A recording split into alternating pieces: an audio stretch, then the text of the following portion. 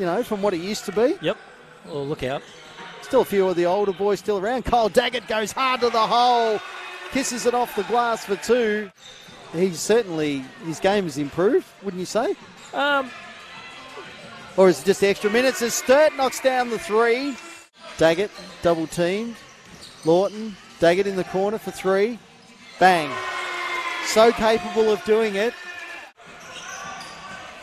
And just penetrating there was Roberts. Daggett says, I'll have that for three. Now the question, he's, he's looked at Roberts as he stroked the three. And again, both teams are trading at the moment. pass oh, by nice. Clark. Clark to Daggett.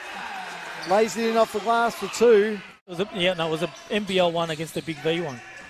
And Okay. um, their, their import started throwing punches. Lovely.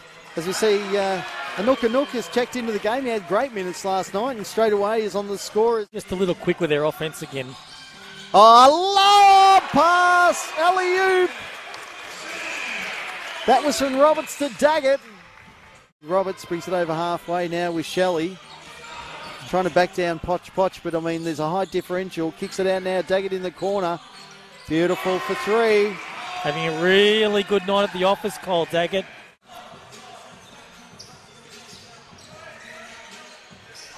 Sturt has the ball from outside for three and knocks down the three, and it's 62 54.